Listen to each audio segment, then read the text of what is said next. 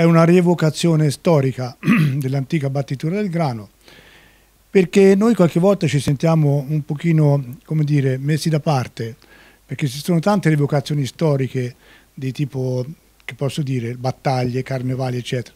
La nostra è una rievocazione contadina, ma è quella che è, secondo me, fondamentale. Non ci sono morti, non ci sono feriti, celebriamo il, il grano, quindi il pane, e il lavoro e il progresso dell'uomo.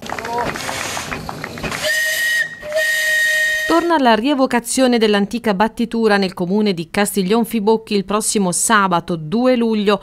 Dopo lo stop dunque dovuto alla pandemia, questa manifestazione tornerà a raccontare la tradizione contadina. Quali macchine agricole antiche vedremo in funzione? Se non ricordo male, insomma, appunto tra gli associati del Camai ci sono tanti gioielli che magari per quel giorno torneranno a, a lavorare.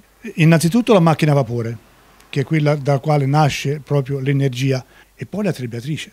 La trebbiatrice è la prima macchina, la vera macchina che arriva nei campi, arriva nelle aie, a battere il grano.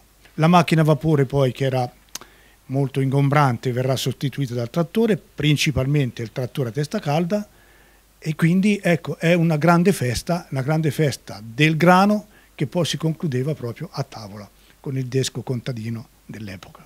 I momenti fondamentali sono eh, il 2 luglio, sabato 2 luglio, eh, la mattina eh, ci sarà l'apertura di un concorso di pittori, concorso di pittura con il tema la battitura del grano. La battitura del grano, quindi un concorso di pittura aperto a tutti, eh, la mattina ci sarà la timbratura delle tele, e la sera ci sarà la premiazione, sono il primo, secondo e terzo premio. Poi c'è la, la, la piazzatura delle macchine e poi c'è proprio la dimostrazione storica della trebbiatura del grano con sfilata dei trattori d'epoca finale. E la sera in piazza, nel centro storico di Castiglione Fibocchi, ci sarà la scena contadina della battitura.